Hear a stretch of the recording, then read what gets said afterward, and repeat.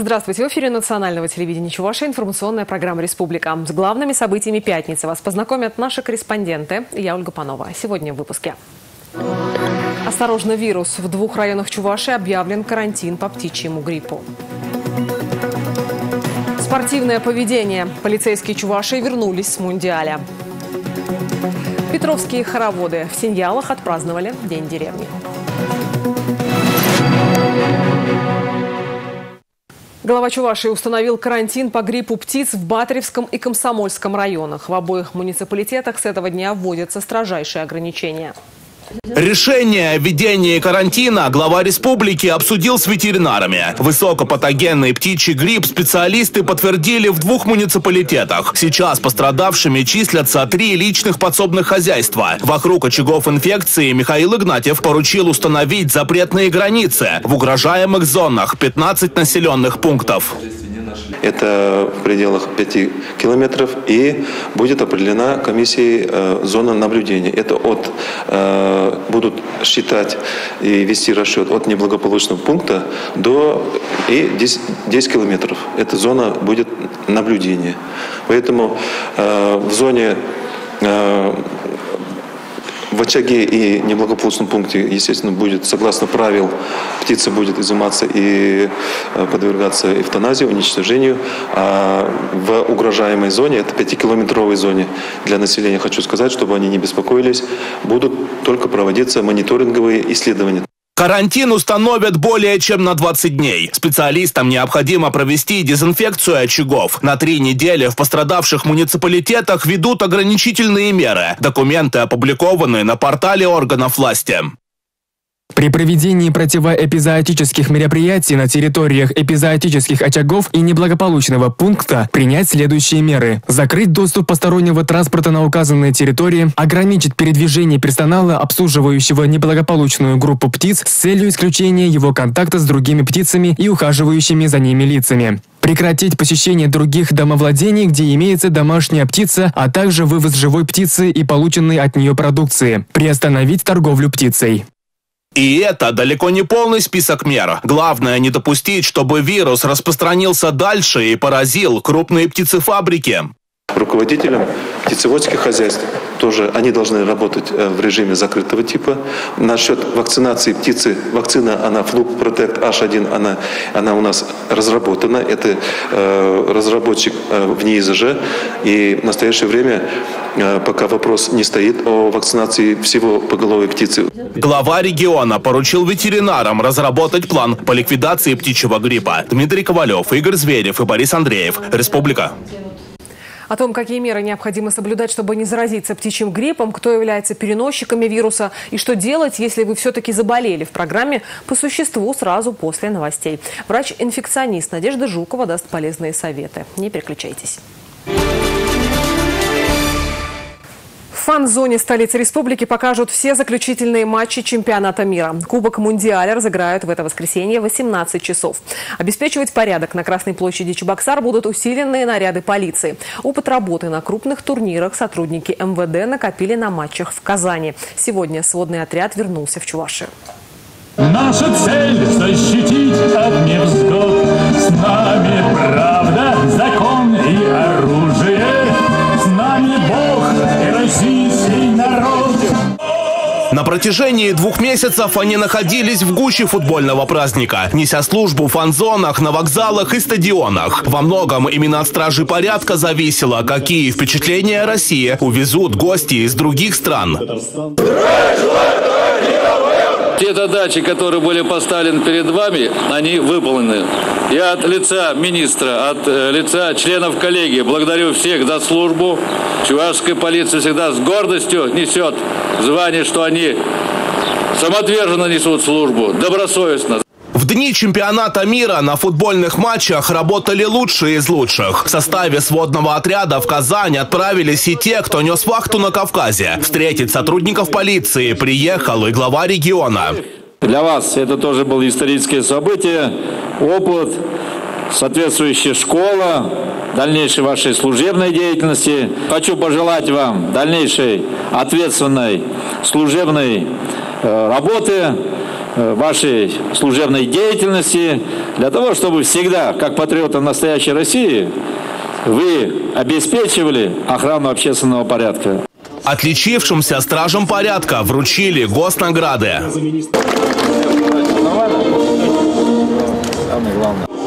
Порядок на футбольных матчах обеспечивали и национальные войска. Сегодня с командующим Росгвардии в ПФО встретился глава республики. Нам приятно было, что мы в прошлом году великолепно провели обеспечение безопасности Кубка Конфедерации uh-huh. на территории Казани. Ну и мы приступили к тщательной подготовке к мировому первенству. Конечно, задача тяжелейшая была. 22 матча. Это много. Стороны обсудили и вопросы дальнейшего взаимодействия. Войска Национальной гвардии в стране работают уже третий год. За это время ведомство укрепило свои позиции. Благодарен вам за то, что на самом деле все эти организационные мероприятия быстро прошли. Люди понимают, взаимодействуют на территории республики с другими органами правопорядка. Люди это чувствуют. Самара. Дмитрий Ковалев, Андрей Шоклев и Борис Андреев. Республика.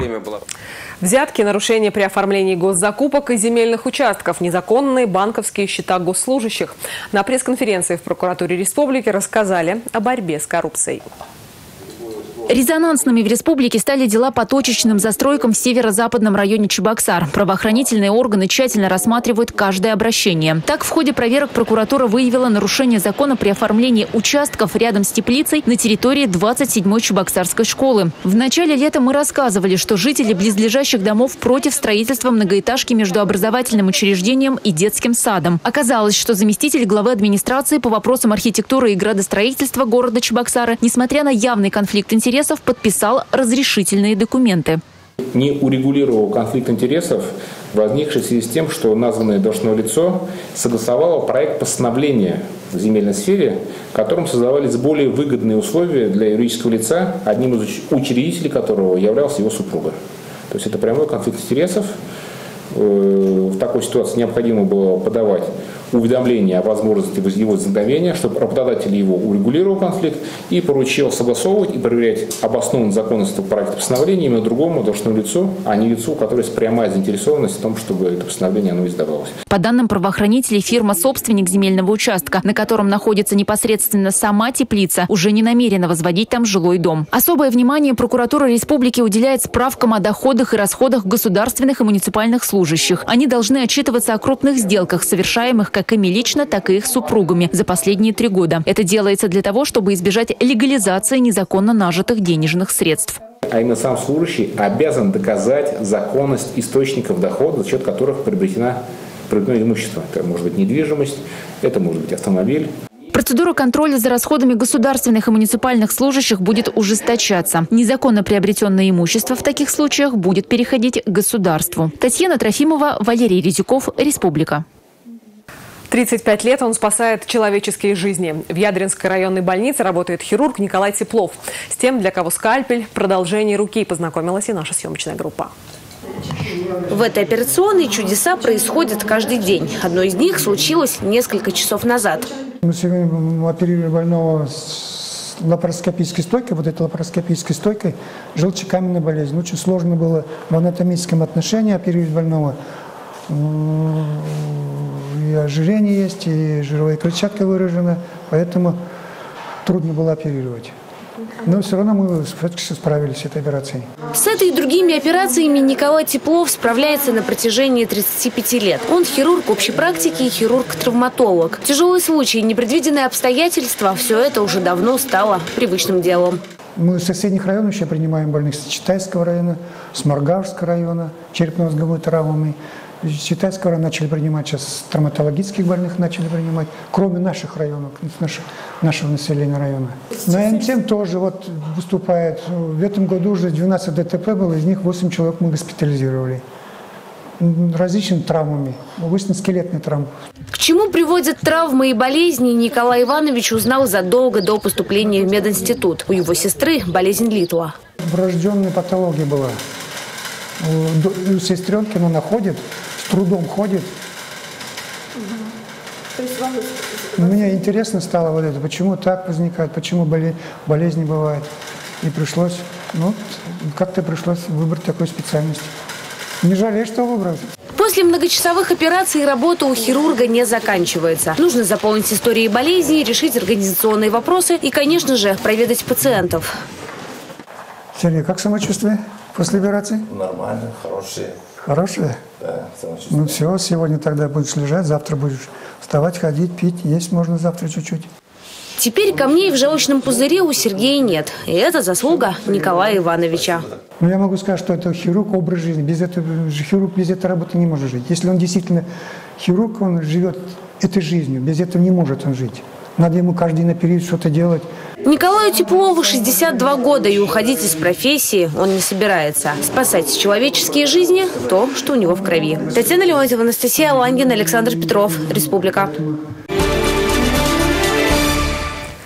Ежегодно в Ядринском районе собираются как лингвисты Чувашии, так и те, кто слышит язык впервые.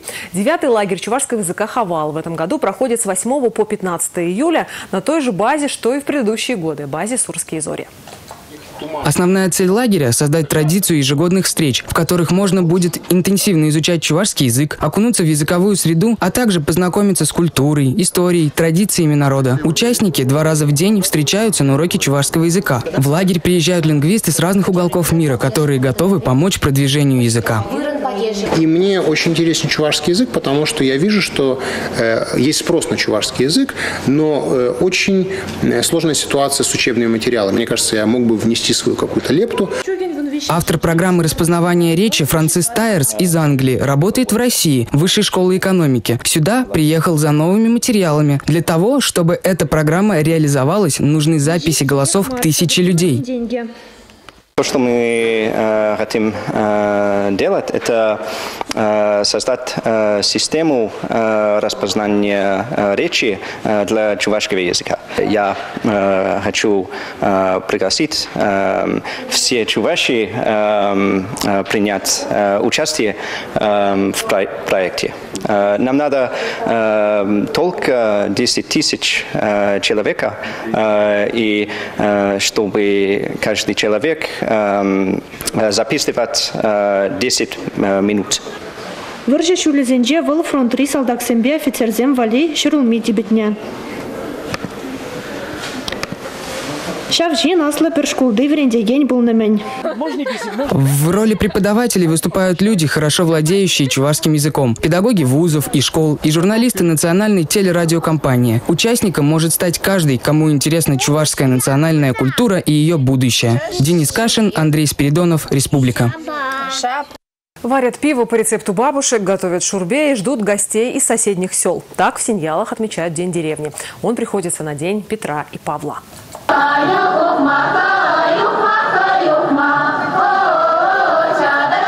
День Петра и Павла, или просто Петров день, раньше в народе называли днем последних хороводов. Дальше было не до веселья. Начиналась тяжелая работа – сенокос и жатва. Но в Петров день молодежь могла гулять в хороводах до зари. По большим праздникам летом в Синьялах вспоминают эту традицию.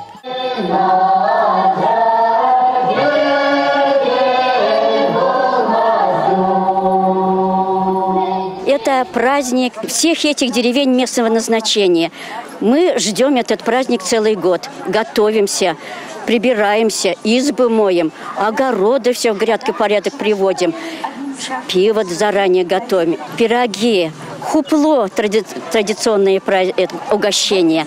И ждем гостей. В этот день собираются гости из всех деревень потому что потом мы к ним. Кроме того, что вспоминают старые традиции в Синьялах, формируют новые. Так в этом году в День деревни открыли отремонтированную дорогу до деревни Ильбеша. Ну, эта дорога построена за счет районного бюджета, э, включая там федеральные республиканские деньги.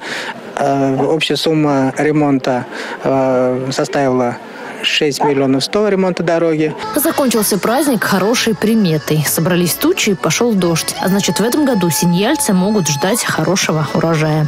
Ольга Пырочкина, Лина Сусметова, Андрей Шоклев. Республика.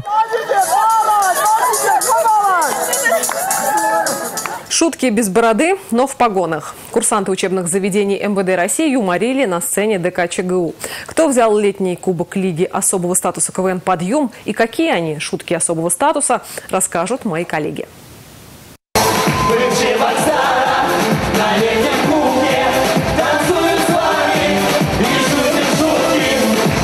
особого статуса и с особым взглядом из-под фуражки. Здесь даже названия команд недвусмысленно намекают на область, в которой специализируются команды. Московские ребята здесь по собственному желанию. У нижегородских – смягчающие обстоятельства. Красноярских можно найти по хэштегу 02 и по нему же информацию про наркотики.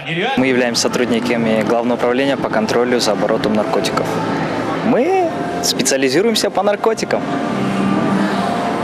Очень актуально в КВН. А сейчас давайте представим. Бывший наркоторговец устроился работать продавцом-консультантом в гипермаркет. Подсказать?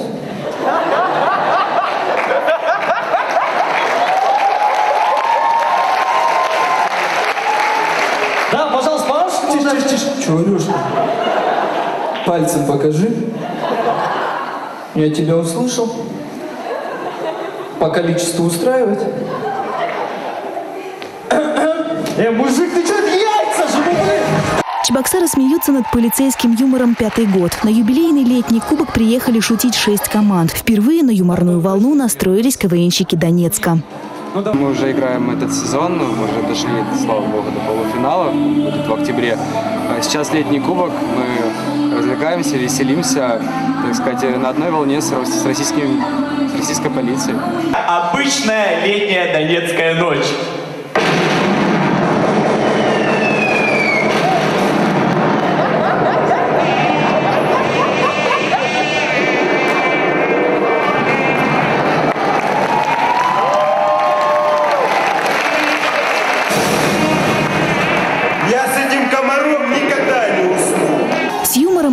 Иронией, команды прошли визитку, разминку и стем. Боролись они не только за титул победителя, еще и за дополнительные баллы, которые прибавятся к результату следующей игры. В Лиге подъем особая система, накопительная. Команды не вылетают до полуфинала.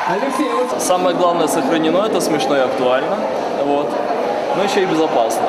Вот.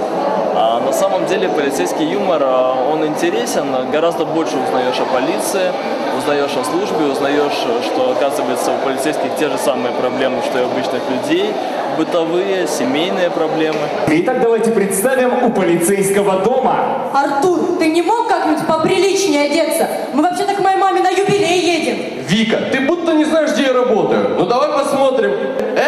На работу, эту дома носить.